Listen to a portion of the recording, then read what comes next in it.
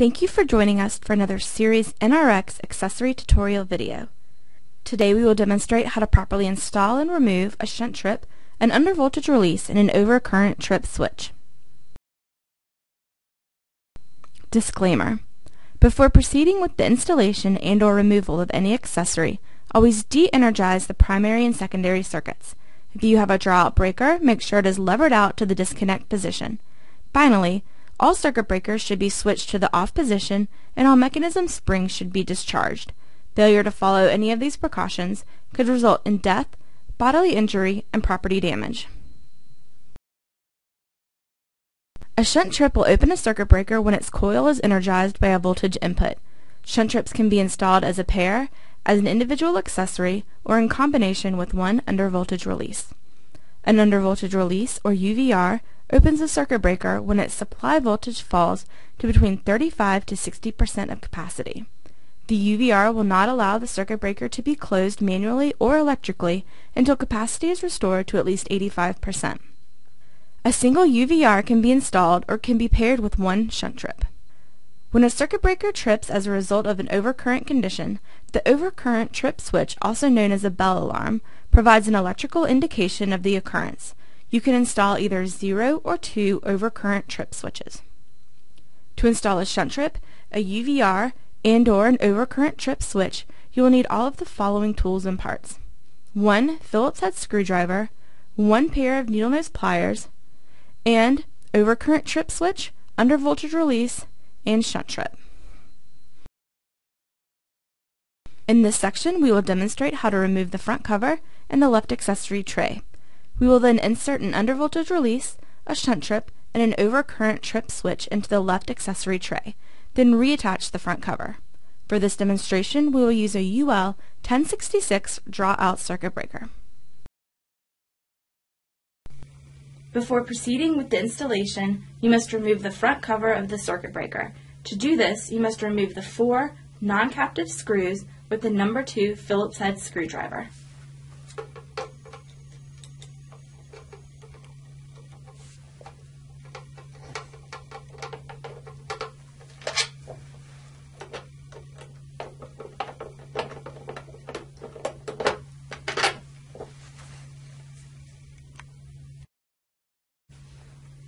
If you have a four-pole breaker, there are six screws to be removed.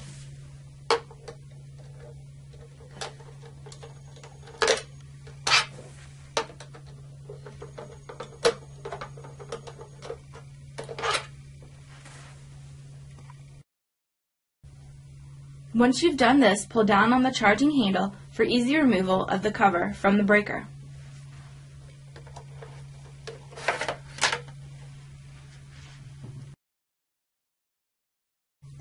Next, locate the left accessory tray. It is behind the trip unit. Put a finger on each end and slide the tray to the left. A minimum of 2 inches of side clearance is needed for tray removal.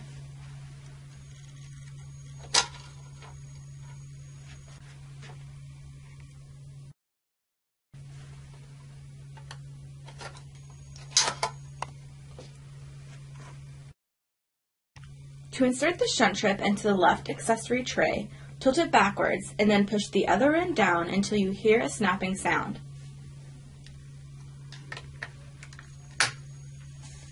The snapping sound indicates that the shunt trip is locked in position. Once you've attached the shunt trip to the left accessory tray, route the two secondary leads behind the first molded tab.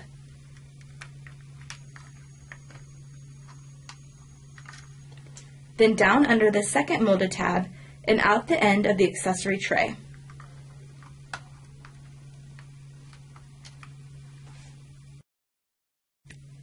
To install an undervoltage release or a second shunt trip into the accessory tray, perform the exact same process as you just completed for the first shunt trip.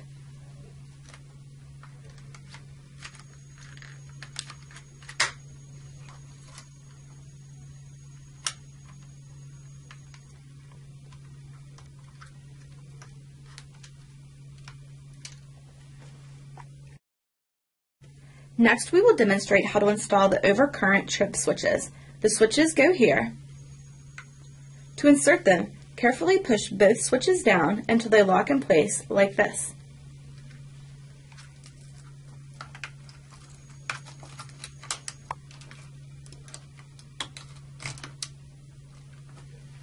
Once the switches are secure, route the three pairs of leads to the right and out the end of the accessory tray, like this.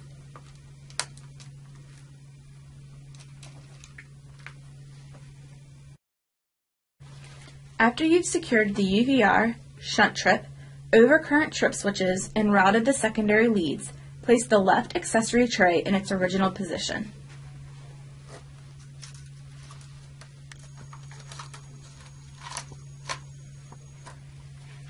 The secondary leads should extend out from behind the trip unit once the left accessory tray is installed.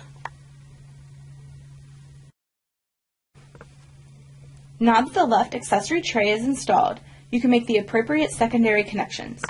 To make the secondary connections, first release the secondary mounting bracket by pushing the two orange buttons located on the back of the bracket.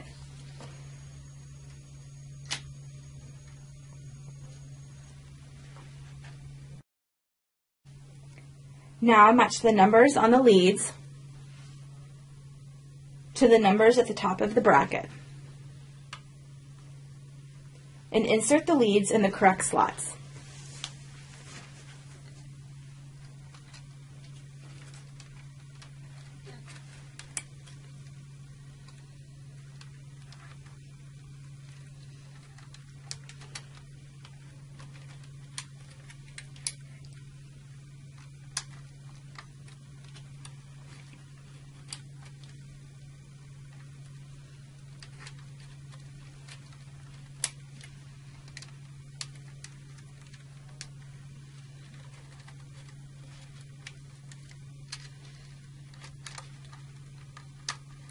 When finished, push the tray back into place.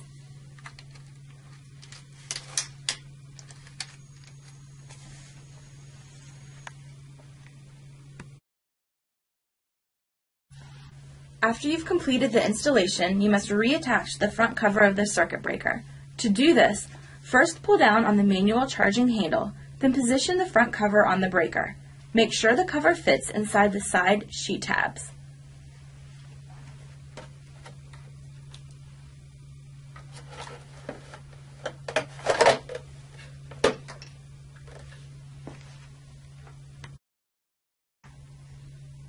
Once the front cover is properly positioned, secure it to the breaker with the four non-captive screws you removed earlier.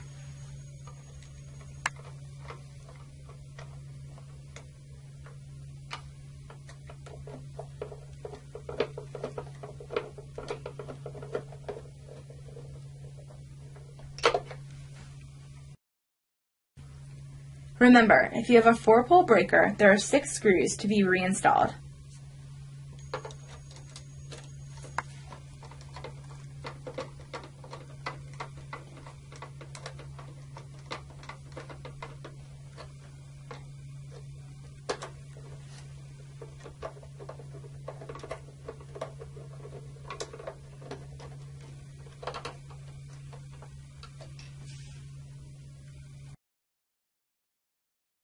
In this section, we will demonstrate how to remove an undervoltage release, a shunt trip, and an overcurrent trip switch from the left accessory tray. First, push the two orange buttons and release the secondary mounting bracket.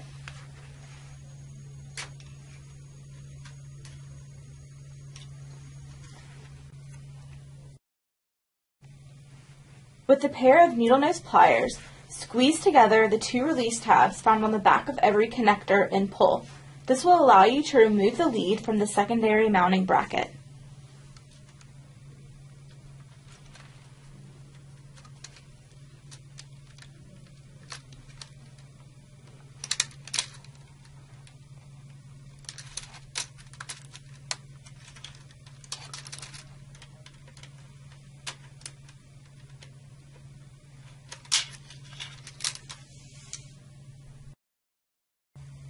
Now depress the tabs on each end of the left accessory tray and slide it out.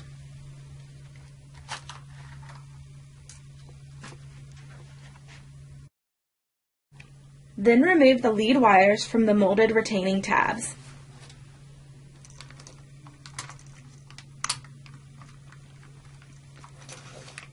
First we'll remove the under voltage release in the shunt trip. To do so, pull back on the locking tab to unlock the UVR and shunt trip, then lift each accessory upward and out.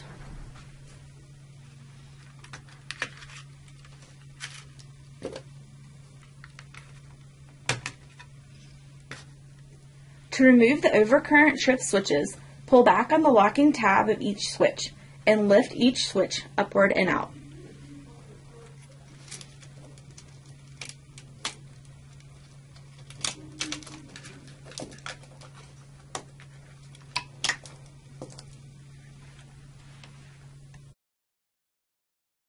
This completes the undervoltage release, shunt trip, and overcurrent trip switch tutorial.